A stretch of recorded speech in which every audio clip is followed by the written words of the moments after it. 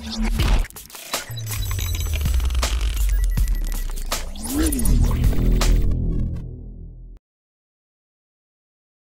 Hi friends sports பற்றின கூட உடனுக்குடன் தெரிஞ்சுக்கொள்ள நம்ம தமிழ் கிரிக்கெட் சேனலை சப்ஸ்கிரைப் பண்ணுங்க. இந்தியா மற்றும் வெஸ்ட் இண்டீஸ் அணிகளுக்கு இடையேயான இரண்டாவது டி டுவெண்ட்டி போட்டியில் நாங்கள் வந்து ஒரு மிகப்பெரிய தவறு செஞ்சிட்டோம். யுவராஜ் சிங் அவர்கள் சொன்னது போல இந்த ஒரு விஷயத்தில் ஒரு பெரிய மாற்றத்தை கொண்டு வந்தே ஆக வேண்டும் அப்படின்னு விராட் கோலி அவர்கள் ஒப்புக்கொண்டிருக்காங்க. அது பற்றின முழுமையான விவரத்தை பார்ப்போம். சமீப காலமாகவே இந்திய அணி பார்த்தீங்கன்னா டெஸ்ட் டி டுவெண்ட்டி ஒரு நாள் போட்டி அப்படின்னு அனைத்து விதமான போட்டிகளிலுமே ஒரு வலுவான பேட்டிங் மற்றும் ஃபீல்டிங் பவுலிங் அப்படின்னு ஒரு தலைசிறந்த அணியாக தான் விளங்கி வந்துட்டு இருக்காங்க. இந்த உலக கோப்பையில் கூட இந்திய அணி ஒரு அருமையான ஃபீல்டிங் யூனிட்டை தான் செயல்பட்டாங்க. ஆனால் தற்போது இரண்டாயிரத்தி இருபதாம் ஆண்டு ஆஸ்திரேலியாவில் நடக்க இருக்கும் இருபது போட்டி உலகக்கோப்பைக்காக இந்திய அணி இளம் வீரர்களை தயார்படுத்த வேண்டிய கட்டாயத்தில் இருக்காங்க.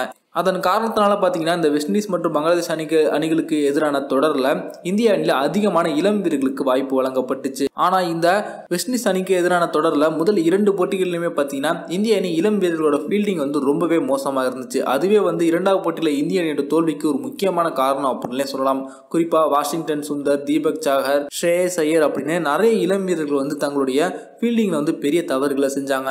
நிறைய கேட்ச் வாய்ப்புகளை தவற விட்டதுனால இந்திய அணி தோல்வியிலும் தள்ளப்பட்டாங்க. அதே போல் விக்கெட் கீப்பரான ரிஷப்பன் கூட ஒரு எளிமையான கேட்சை இப்போ நழுவ விட்டார். இந்த போட்டிக்கு அப்புறம் இந்திய அணியின் முன்னாள் அதிரடி ஆல்ரவுண்டரான யுவராஜ் சிங் அவர்கள் பார்த்தீங்கன்னா இந்திய அணியோட ஃபீல்டிங் படு மோசமாக இருக்குது இது போல் இருந்தாங்க அப்படின்னா கண்டிப்பாக பெரிய வெற்றிகளை எல்லாம் குவிக்க முடியாது. இதில் வீரர்களுக்கு சரியான ஃபீல்டிங் பயிற்சி அளிக்க வேண்டும் அப்படின்னு பேசியிருந்தாங்க. இந்த போட்டி முடிஞ்சதுக்கு அப்புறம் தற்போது விராட் கோலி அவர்கள் என்று என்ன சொல்லியிருக்காங்க அப்படின்னா யுவராஜ் சிங் அவர்கள் சொல்வது போல இந்திய அணியில் வந்து ஃபீல்டிங் மோசமாக தான் இருக்குது அணியில் நிறைய இளம் வீரர்கள் இருப்பதன் காரணத்தினால அவங்க வந்து அவங்கவுங்களுடைய துறையான பேட்டிங் மற்றும் பவுலிங் போன்ற துறைகளுக்கு மட்டுமே அதிக கவனம் செலுத்த அனுமதிக்கப்பட்டுச்சு. ஆனால் ஃபீல்டிங்கில் வந்து பெரிய அளவில் அவங்களுக்கு வந்து பயிற்சி கொடுக்கல. இது வந்து அணியில் பெரிய ஒரு பாதிப்பை ஏற்படுத்தியிருக்கு. கண்டிப்பாக அடுத்த தொடருக்கு அனைத்து இளம் வீரர்களுக்குமே கடுமையான உடற்பயிற்சிகளை செய்து வச்சு அவங்கள வந்து ஒரு சிறந்த ஃபீல்டராக உருவாக்க வேண்டும். யுவராஜ் சிங் அவர்கள் சொல்வது போல ஃபீல்டிங் அப்படிங்கிறது அணிக்கு ஒரு ரொம்பவே தேவையான விஷயம். அது வந்து இந்த இரண்டாவது போட்டியில் எவ்வளவு முக்கியம் அப்படிங்கிறது நிரூபிக்கப்பட்டிருக்கு.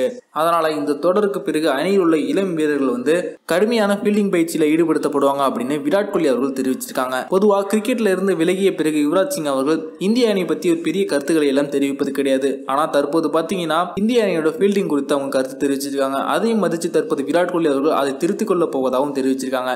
இந்த வீடியோ உங்களுக்கு பிடிச்சிருந்துச்சுன்னா லைக் பண்ணுங்கள் ஷேர் பண்ணுங்கள் நன்றி.